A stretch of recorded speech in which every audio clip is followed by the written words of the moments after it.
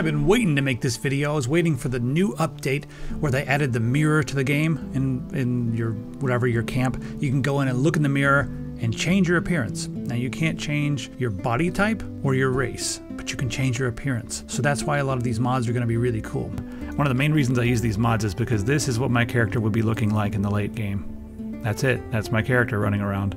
And if you don't care and you like, hey, that's pretty cool, I like it, then you do you, by all means. But that's not how I like to, to play.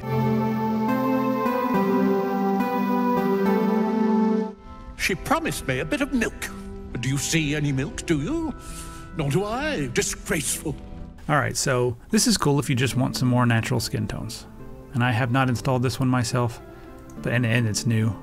But it's really cool because a lot of these skin tones do have a very natural quality to them. If you don't want just the crazy modern D&D purple, green skin, whatever. Now we're going to talk hair. What I would recommend doing with these is just finding the uh, hair mod that has the hairstyle that you want and installing that one. You don't need to install all the hair, you know, all the different hairstyles. Honey's Hair Kitchen. You know, I like this one. It's that one's pretty cool, but it's all up to you. Find the one you like. These, uh, this is this is showcasing some of the faces that this person made as well. Some of these are pretty cool as well. And the last one, there's not too many in here, but if you like more of the anime style like that one, or if you like really long hairs, this one has a few of those options. Where's the where's the shot of the there we go, the really long hair. Really long hair. Crystal Gayle looking stuff right there. If you want some more hair colors, well, this is a mod for you. I love the, the reds and oranges and auburns and all that stuff that come with this one. But we have many, I feel like a lot of these should have been in the vanilla game, but it would have been, it would have been too many colors. But there's some really, really cool hair colors. I feel like I'm walking around Seattle right now or Portland. But this is my favorite hair mod out of all of them because it has ridiculous stuff. Look at this 80s monstrosity. And then since we installed the other mod with all of the different colors, so here's your regular colors up here on the top, right? And then you'll see these, they have the prefix ASTRL for Astral. So there we go. And I love some of the purples, they're ridiculous. That's it's actually really ridiculous looking. I love this one because it, it's got the physics, spiky, it's great. I mean, these are all subjective. So there's not as many hairs with this pack as there are with Tav's Hair Salon. So take a look at these. There's so many of these Tav's hair pack. You've got some huge hairdos. You kind of have to click and go through each one because there's not a thumbnail for, for these. If you take the time and like go through it, sure you'll find one you really like. Hmm, purple Shadowheart style. Floppy flop. This is um, how I actually play my game. I've got 200 hours in the game, and 150 hours is this. What am I doing? There, look at that. it clips through your armor, but it's so ridiculous, it's almost worth it. If you're not wearing something with big shoulder things, you know, you're wearing a different set of armor, this might be fun. And then the other um, hairs that I like, I mean, Tavs has a lot. A lot. I wish you could just change all the NPCs to these things as well. Look at that one. All right, once we get down to the, the final one, you'll see the names just change to regular names. There we go. And that's when the Tav's hair pack is over. The ones that just have names, those are Honey's Hair Kitchen. Anyway, I like these a lot. Let me just scroll in. There's something about them, like I said, they look a little tougher, a little more goth, and there's some good ones in here as well. So go through, find your favorite hair mod. You don't have to keep all the hair mods. I recommend just finding your favorite one. There we go, that's pretty cool. Wait a second. If we make this blonde, alright, I need to speak to your manager. Immediately. This is when Shadowheart lived in the 80s and 90s. And, and still complained. So that's the hair mods. Now all those different hair colors again, all right here. And Mistress Dorenbold still drags me hither and thither. Now we're going to get into clothing and we're going to talk about my favorite clothing mod and I'm going to teach you how this works so that you'll know how a lot of these clothing mods work. Now this one, uh, this is the not safe for work version, so it's going to be hard to show a lot of this on the screen. But they've gone through and they've taken a lot of the outfits in the game They've taken pieces from here and there, from bits and pieces from there, taken some of the underwear, mixed it with some of the armor, and just done some crazy things. But they've put together hundreds of different individual pieces of armor, accessories, robes, whatever, and it's in one huge package. So I like the Not Safe for Work version for a couple different reasons. Because it breaks up a lot of the different armor and I don't run around with my parts out. I just I think that that's a bit too skanky for me. That's a bit weird having your characters run around with their parts just flopping around. And this this mod will give you the option to do that. Now there's a couple different ways you can install this, and I highly recommend doing it the second way. I'll tell you the first way first. You just download the mod, and when you install it, these clo these clothes and these armor sets, they go onto the left side which is where all your armor goes. So if you're wearing armor that has certain attributes and specs, this will override it. There's a better way to do this, uh, and it allows you to have your armor and your aesthetic. This is camp clothing. Now what this does is it makes the, the basket full of equipment stuff, all this stuff here, it translates it over to your camp clothing slot. So you have on the left of your character, you have all your, your armor and all that stuff, and that's the stuff that matters for when you're playing the game. On the right, that's your camp clothing, that's how you look, and you can toggle that at any time. So you can be wearing your armor, but your character can look the way you've set it up with all your camp clothing. So you can wear all of this stuff, get the benefits of your armor, but this governs the aesthetic of your character. Now, one other thing is inside here, there's a bunch of underwear and stuff that you'll see in the game. You know, when you first get it, the underwear goes into your just regular clothing slot. So that'll be all you can wear. And that's not really my thing. If it's your thing, then fine, you just want to wear underwear everywhere. You do you, that's great. It's great. But what I usually like to do is also add on this. It's the basketful equipment underwear slot. And it makes all the different underwears go to the underwear slot. Now this is cool because like I was talking about earlier, you can put on a pair of pants or something from just the basket full of equipment and then you can also put on underwear. Now, why should I do that? Well, I don't want to only be wearing underwear. Now, this can cause some different conflicts and issues because sometimes your clothing and, and whatever will clip through with your underwear. And that's what I like about the not safe for work versions is because you have options that don't cover all your parts. So that way you can mix and match without a lot of clipping.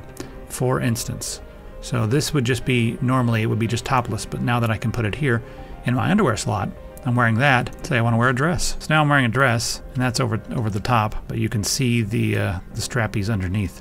So this dress is the wrong color, I'm afraid, because it you know you can see the clipping, see right there, where like sometimes the underwear will go through. Well, that's something you're going to have to you know adjust or work with or figure out. But you know one of the things that I think really works is if we just get our our inks out, and I'm going to dye this emerald green, my favorite. Or it's emerald, emerald graves, yes. There we go. And now it's not really apparent at all where it's where it's clipping through. So that looks really cool. Let's say I want to try a different set of underwear or whatever. That'll go underneath this this one. There we go, put that on. Now I've got the strap down the middle. Looks pretty cool. Got the strap in the back. And it's perfectly working so that it's actually looks like it's underneath my outfit. Now if I were to wear something that was safe for work, you can see there it creates an issue where it's kind of, you know, sticking through your clothing and whatnot. So yeah, as you can see I've got the camp clothing on a lot of the people here. There's Jaheira. I want to mention one, one thing real quick. So here's Karlach. Now notice that she is wearing a pair of the, um, this is the underwear that goes with the Dragonborn. And as you can see the underwear with the Dragonborn, this is actually from in-game. You find this in Act 3 and you might be able to find it somewhere else. Um, but this one, as you can see on the back, it has like a little leather that goes above the tail because she's a tiefling. And that's something that the developers had to do. They made the different outfits and underwear um, for each different race, which is a lot of work. So here's the one that came with the basket equipment mod. It's shaped for the big girls, which is what Karlach would be. But as you can see on the back, it's not specifically made for the tiefling because that requires a lot more work. So making each one of these things for each um, different, you know, character or each different class is not something that's been done. We'll hold the line. You best believe. Now, something else that's compatible with this and takes it a step farther and gives you just some different options, and that is the modular equipment. It breaks up a lot of the equipment that they have in the game. So you have all these different options here, and you can put them on individually as needed. There's different combinations, but a lot of this stuff, when you have the game, you just pick one thing and it's like the whole outfit all together. Whereas this one just breaks it down. And I, I really like that, the way you can like really customize your look. So this one's cool as well, and they all work very well with different dyes. So let's talk about some ways to dye your clothing. I wouldn't be here tonight, except my wife ran off with a cambion. That's right, I got fiend zoned. With the basket of equipment, there are a bunch of dyes in there. And I really use the black dyes a lot. There's different types of black dye, black dye with you know, bronze metal, black dye with gold metal, black dye with black metal.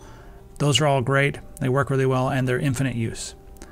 But the extra dyes for the fashionable folk of Faerun, I love these dyes. really, really good dyes. Is that they've done a very good job of putting together different mixes of colors that, that look well, to, well together, you know. My favorite one is the Emerald Graves dye. Got this beautiful dark green emerald color and uh, sort of a dark black that goes around it. It looks beautiful with some of the patterns that you get in the game. So highly recommend these dyes. If I was only going to have one set of dyes in my game, I would throw this in there.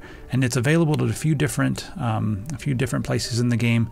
You can also get it by summoning the tutorial chest, and I'll show you how to do that toward the end of the video. And then if you wanted even more dyes, these are good. This is my second choice. Pretty good. The last thing, this is completely up to you. If you want to just be able to use all the dyes over and over and over again, you can get everybody dyes. Unlimited dying. Just let you use them forever. Infernos contractos te vocamos. A lot of these mods require you to get the different items out of the tutorial chest, the cartilaginous chest that's on the Illithid vessel that crashes in the beginning of the game, but that chest is not around in later parts of the game, so you'll need to summon it. And there is a mod that allows you to summon the uh, tutorial chest, so that way you can just put it in your inventory and then throw it in your camp uh, stuff, so it's always there. I generally think that this is the better option. Alright, so this is the mod manager. Now, if you need the script extender, you can just come up here to Tools and click on Download and Extract the Script Extender, and that's all you need. So just drag and drop the zip file right over here. Give you a little exclamation mark, but don't worry about it too much. Now I'm going to drag and drop it over here to the bottom. Now when it's done over here, and your stuff's all in the right order, you have to click on Export. Alright, so even if you try to play, it's like, hey, it requires the script extender. It's smart enough to know. So just come up here at the Tools and click on Download and Extract the Script Extender. Hit Yes. There we go. See a little script extender thing? That means everything's ready to go. Be sure to click on export there. There. Alright, so in order to summon that chest, you need to get somewhere where no one can see you and crouch. And once you crouch, this is going to appear, summon tutorial chest. So click on that, you're doing the spell, click it again, and now you're gonna, it's, it's in your inventory. It's way too heavy though. Well, not, not crazy, but open that up. Just highlight everything in there by control or shift clicking, right click, send it to camp. Now when you go back to camp, you can go over here to your, your chest, wherever that is, and open it up. I've got some stupid Sussur flowers in there. Alright, all the way down at the bottom is where it should be. And there's all the stuff we just sent there. There's our dye bundle. You can right click and do open. I like to drag these around. There's all of our dyes. And then we have our modular equipment. And this will tell you what slot it goes into. I really like the modular equipment that goes into, well, there you have the underwear slot right here. Whoops. If you double click it, it'll pick it up. Don't do that. Right click and open all of these. There we go. This is our underwear stuff. And in order to see it all, I like to keep this open and just kind of like drag and drop it onto my character. There we go. I'll show you what it looks like. Take off the actual clothes. And if you don't like it, you can just drag and drop it back. See what this one looks like. So you can take a look at all of those that way. If you're a little bit lost and you're like, I don't really know how to install all these Baldur's Gate 3 mods, if you just search for Baldur's Gate 3 mod tutorial, the first thing that comes up should be my video. Otherwise, it'll be linked right in the top of the description. But this video is an absolutely uh, necessary thing for you to watch. It's 20 minutes. You're going to be playing the game for hundreds of hours. So I think 20 minutes is a pretty fair trade-off to understand, you know, what's going on behind the scenes. I'll teach you how the modding actually works. So that way if something breaks, you'll understand what has been going on behind the scenes. We'll talk about updating mods. I'll show you how to use the mod uh, manager and we're also going to show you how to install camera mods that are outside of the mod manager.